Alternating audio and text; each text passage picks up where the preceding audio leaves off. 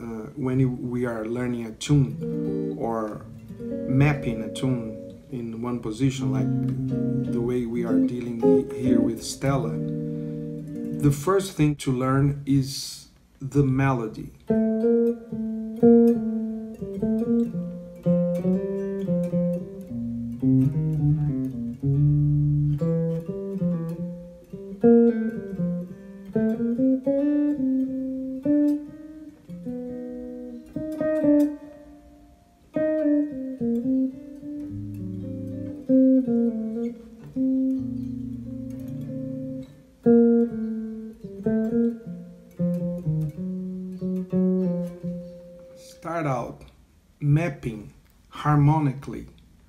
The tune Stella. Because as we we talked in previous lessons, it's it's very important that you see harmonically what's around the lines or the other way around. There are two examples for each chord. Maybe I'm gonna play a little different here and give you more examples that is in, the PDF. But anyway, this uh, we're gonna keep everything in in this range of six frets, this area of the guitar. So we're gonna play the Stella only in this place, as we saw, as you saw in the introduction. I played around this, exactly around uh, these shapes that I'm gonna show now. So E minor 7 flat 5 or C minor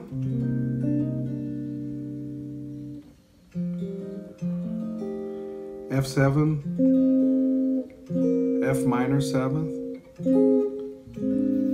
B7 B flat 7 E flat major 7th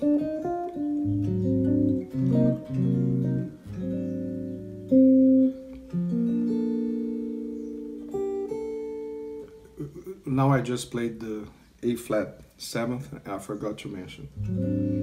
And go back to B flat major 7th and then again the 2 5 in D.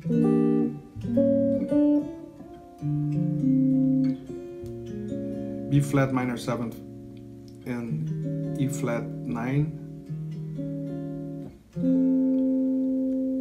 F major again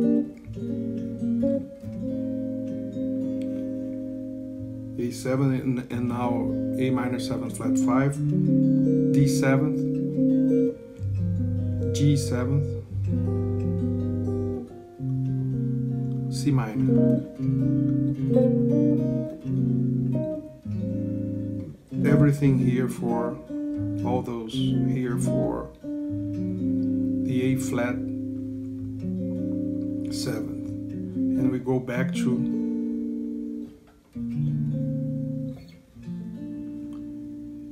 flat major 7th and then to 5 of D to 5 of C minor and finally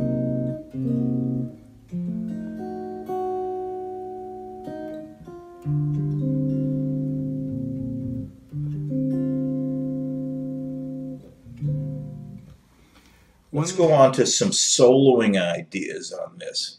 Now, this is a very challenging song to solo on, and one of the reasons is because of the very first chord, which is an E minor 7 flat 5, uh, which is a chord that nobody can figure out how to play. Of like, I never could figure out how to play it. Um, students that I've had over the years at three or four major universities and private ones and really good players from Europe and clinics in Japan and everything. Nobody's ever been able to figure out how to play this chord. So, uh, how do you play it? Well, the clue of it is in looking at the voicing itself. There's one clue. So this chord is this is your E minor 7 flat 5 voicing. Or this. Or another one might be. Or maybe. Hmm. Now if you look at any of those, what what let's look at this one. Now I've got an E here, that's the bass note. But then these other notes are B flat, D, and G. B flat, D, and G. Then if I do this voicing, D, G, B flat. How about this one, the one that I used in the chord solo? That's that's an E down here, but then it's a G, B flat, D. It's a G minor triad. So this chord is a G minor with a uh, with with with an E in the bass. So now, if I were to play G minor, I would really know how to how to play on that. I could play G minor.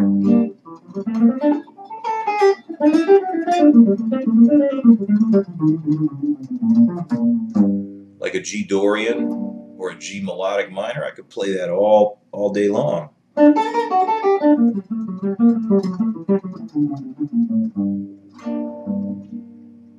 But if I play E half diminished, E minor 7 flat 5, that messes my mind up. I'm like, wow, what the hell? It's a Locrian sharp second. I'm thinking about it, and by the time I, I think so much, the song is over with.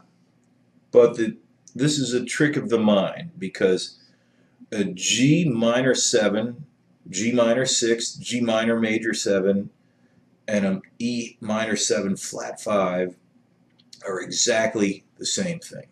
Exactly the same. As a matter of fact, there's a great teacher in New York, great jazz teacher named Barry Harris, who was one of the greatest bebop pianists in the world. He's still alive. He's like 90 something years old. And he says there is no such thing as a minor 7 flat 5 chord or half diminished chord. That it's only a minor 6 chord in inversion. So, uh, so you can uh, so basically when I now when I'm thinking of the E minor 7 flat 5 instead of thinking of this very difficult thing like okay now it's a minor 7 with a flat 5 or it's a half diminished now let's see that how do I diminish my half? And instead of thinking of that I'm just thinking of it as a G minor. So and here's one good thing to do again on this G minor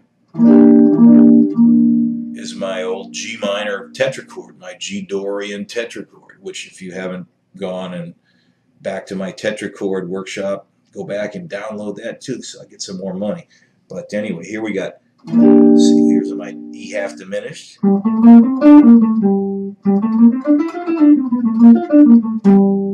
Just playing my E uh, G Dorian runs.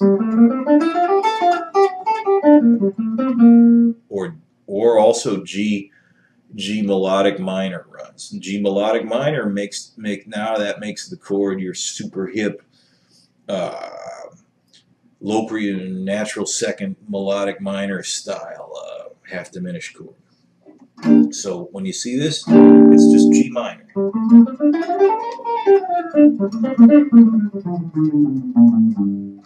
Any variation on G, Dorian, G, melodic minor, anything like that. Now, when we go to the A7 flat 9,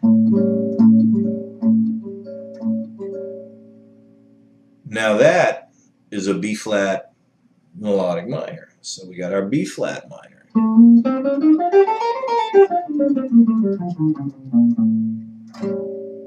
So we can just go G minor,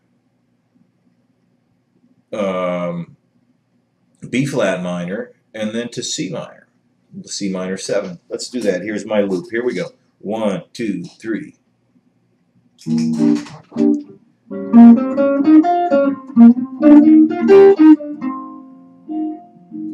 Let's let's try it again. Okay.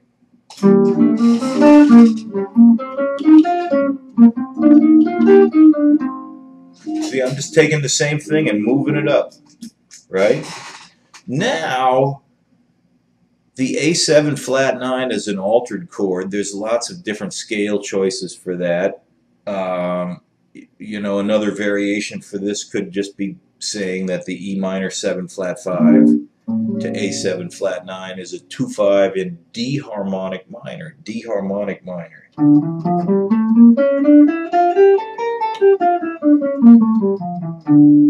Let's listen to that.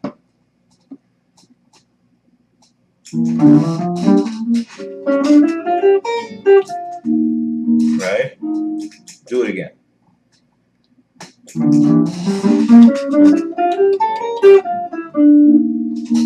harmonic minor. Now, and that makes it easy too. Now, D harmonic minor, the four chord in D harmonic, minor is a G minor. So there you got your G minor again. And now let's, let's look at look at the notes of of the of the the uh, D harmonic minor in relationship to the A7.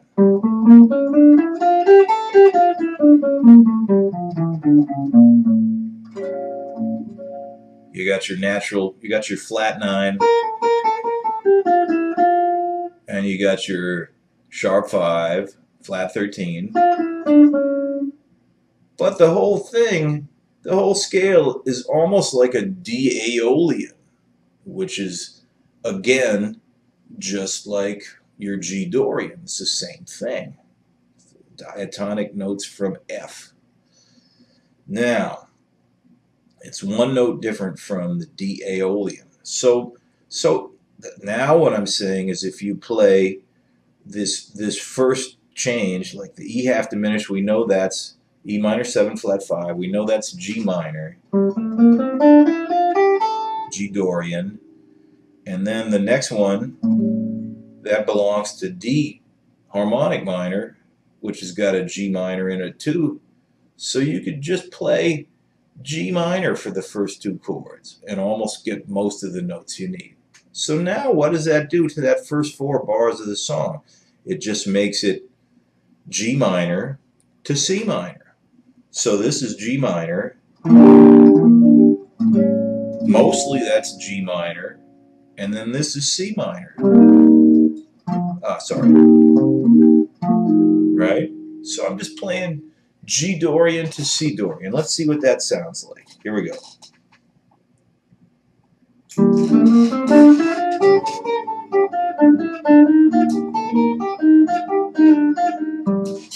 Sounds fine, right? Let's hear it again. Here we go.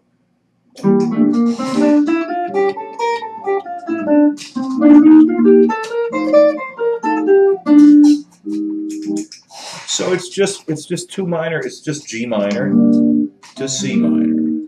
That's what what you can think, and you'll get by with it fine.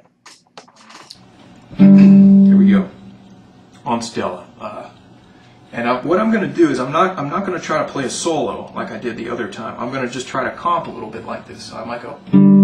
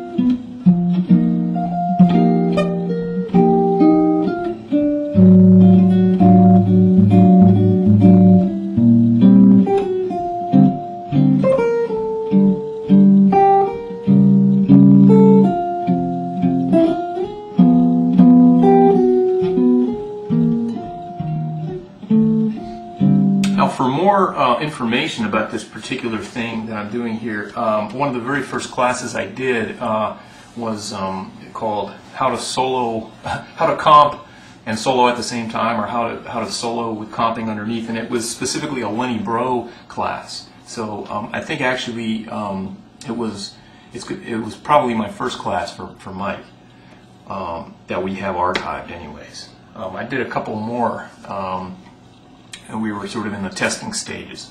But um, yeah, so check that out if you're if you're interested in further in, in um, the kind of stuff I was just doing right there. Um, Basically, the whole idea is to create melodies with the top note. Now, a lot of people consider chords, especially when they come from sort of a, a rudimentary background or you know a rhythm guitar background.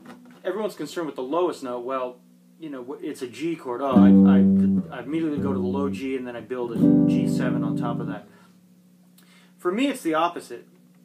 It's the highest note that's important. That's the melody note. So you have to be very careful that you're not clashing uh, melodically with the melody or whoever's playing the melody. For example, um, if, if you're playing a G7 with a flat 9, but the melody is a G, you know, um, you got a problem. That's going to sound terrible. And the soloist is going to turn around and be very uh, angry that you did that. Also, uh, be aware that you know G major seven. If the melody is a is a major is the major seven, you don't want to play this voicing with the G because it's going to clash. I mean, maybe you like that, but most horn players or singers are not going to like that. It's certainly going to uh, interfere with a singer, um, their tuning and and uh, it's going to obscure the melody. So be careful of that. Usually, if the singer is singing a melody, um, and I know that it, you know it, it's root or major seventh, I, I, would probably try to play you know the fifth on the top to stay away from them. Uh, if it, I know it's the major seventh, like you know on a clear day, uh, I might I could probably get away with playing the nine. It's a although the melody is the nine to the major seventh, so. Okay, um, we're going to take Stella by Starlight and uh, do the same kind of melodic comping idea. So again, we have to imagine there's a bass player, so I'm trying to stay out of their register, so you know, no low notes. Um, I, I, don't want to say no roots in the low end because th that's not necessarily true, but um, certainly try to stay out of the low, low register. Um, uh, try to familiarize yourself with the chord changes of this song. I mean, I'll, I'll you know kind of discuss it, but um, there's way more meaning if you actually know what the chords are. Um, and they're interesting chords, so they offer some interesting uh, choices and, and melodic possibilities for comping. You know, that first chord, um, the first the first two chords are E, E minor seven flat five to an A seven flat nine or A sus flat nine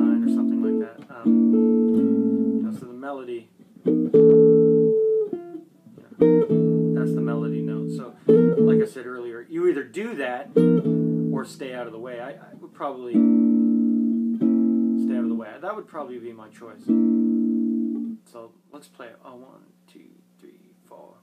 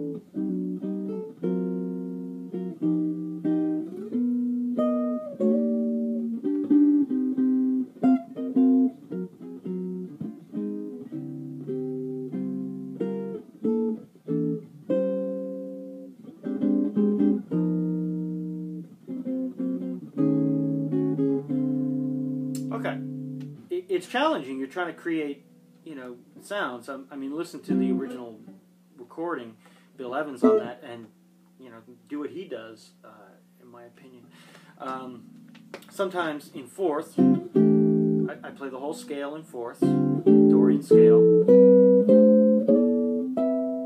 But I'll also use tertiary harmony, you know, chords built in thirds.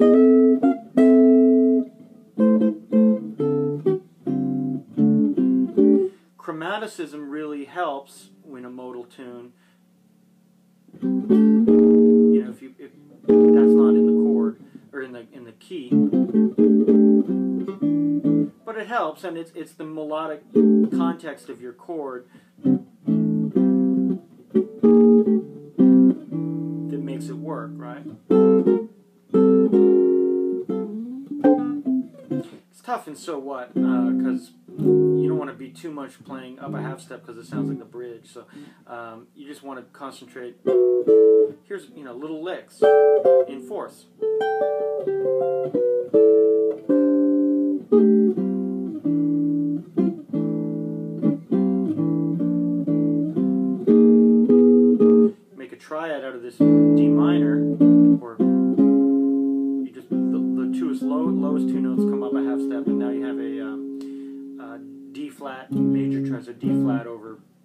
Minor.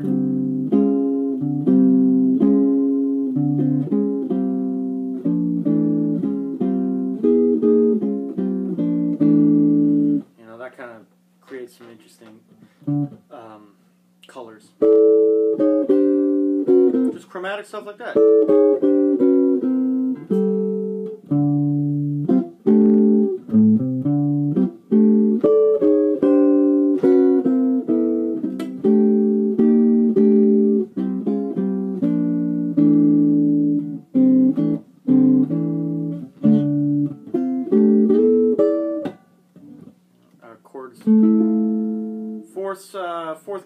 Um, when you invert them, you get you get that chord. You get a fourth and a, and a second on the bottom. So yeah, those also work.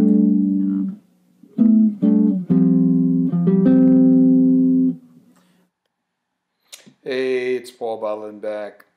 I got some chords for ya. This is, uh, I call this one useful chord voicings. And the reason is um, there are a lot of voicings on the guitar, well, on piano too, actually, and in any kind of uh, arranging format. But there are voicings specifically on the guitar that, that can be more than one thing. And that can be a lot of fun to explore. But you have to have a starting place, so I hope to give you a starting place with this.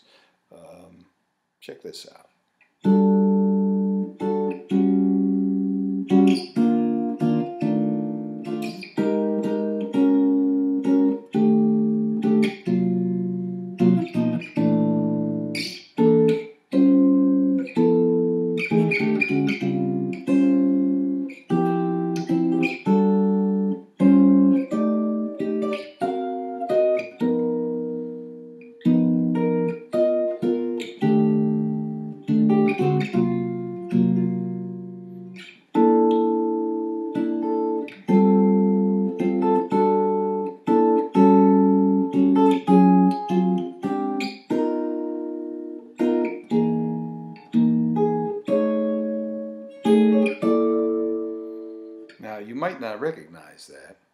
This.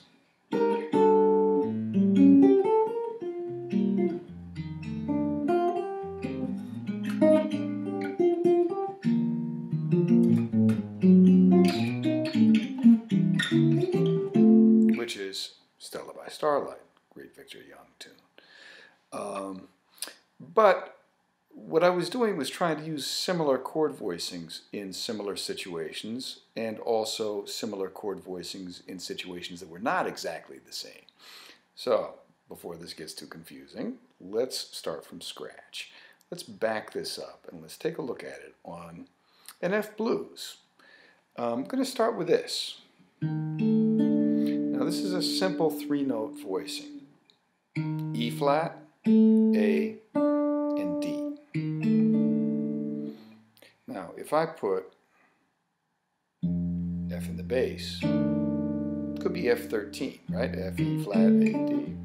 Some people play it like this. I'm, I'm playing it as a bar right now. Oh, where are you? There you go. Ah, there. yeah, or this. Either one is good. Um, but in any case, I'm going to take the root out. Now, it's important when you're you're exploring these things. I'm going to show you some ways to um, kind of put them together for practice so that you have something concrete to work on. But it's important to be able to do these in more than one location on the neck. Now, if I take this shape, and I'm kind of tilt my hand this way so you can really see the notes. Now, this is on the sort of a upper, well, the D, the G, and the B strings. We call upper middle set of three. I can do the same thing on the lower middle set of three. Same notes. Of course, I could do the same thing here. It's a little muddy sounding down there. And I can do the same thing up here on the upper set of three. Now, this is going to become important when it's time to move around the neck this way.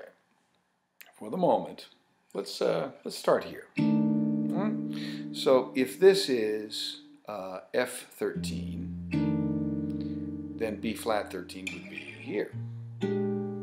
Just go up to the sixth fret, bang, there you are. Um, I could make it a little easier on the hand if I do this. F13 here. Well, I can't play the root, so you don't hear the root. Like here I can play the root, but I can do this, I guess. And so can you. All right. Um, so F13, B flat 13, F13. All right. Um, now I'm going to stick another passing chord in there in a second, but my next part on the blues is B flat 13 again, and then back to F, then B flat. Now most people here would play A minor 7, D7, G minor 7, C7. In fact, you can even see the shape in what I'm playing right here. A minor 7, D7, sharp 9. I take the root out. I've got my little shape here. Tritone plus perfect fourth. Tritone plus perfect fourth for C7, and then back to F7. Now, if I play with the roots, especially that turnaround, A minor, D, G minor, C, F13, it's very easy to hear. Now if I take the roots out,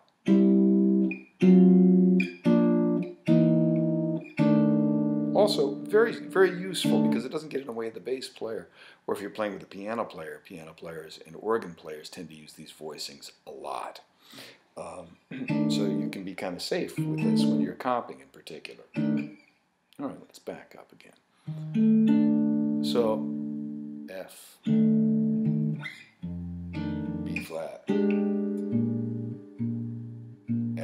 flat Now I should have something else here to get me to the B flat. We'll address that in a minute. B flat. Now you're going to see something interesting here. I'm going to go back to F. There's that in the upper position now. A7, D7, G7, C7.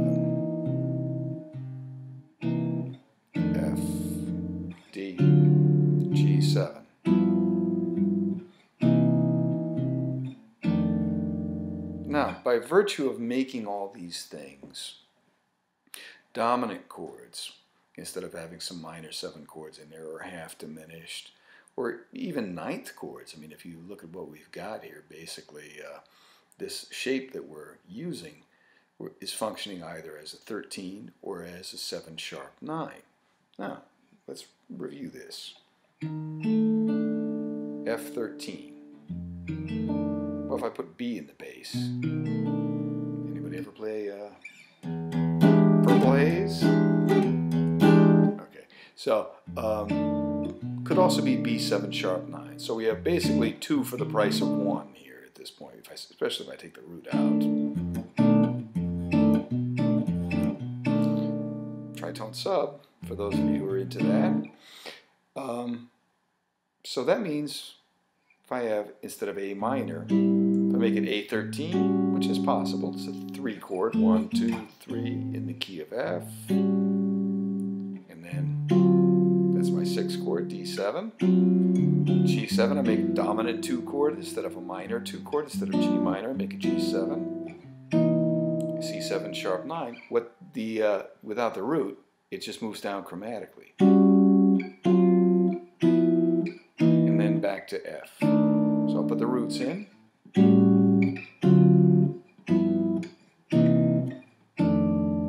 let's put this in the progression so it makes some kind of sense. So F7, 2, 3, B flat 13,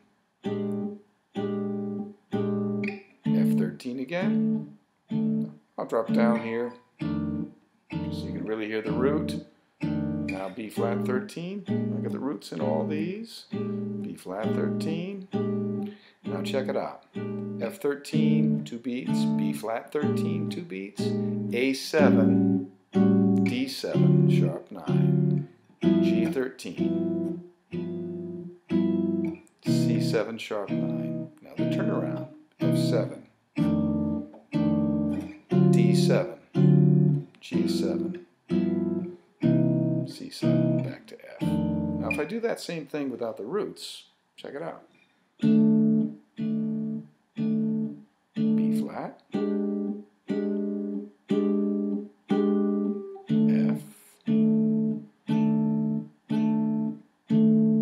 Like I said, we need something else here, which we'll get to. B flat, two, F, two beats, B flat, A,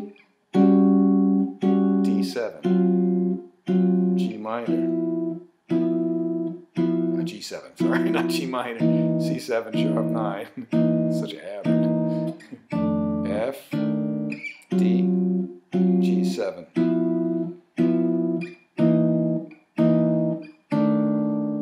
So of course, you know, that's very simple and just laid out in the sense so you can kind of check it out and see what's happening. But if I make it more rhythmic, and even just using those voicings, two, three, four,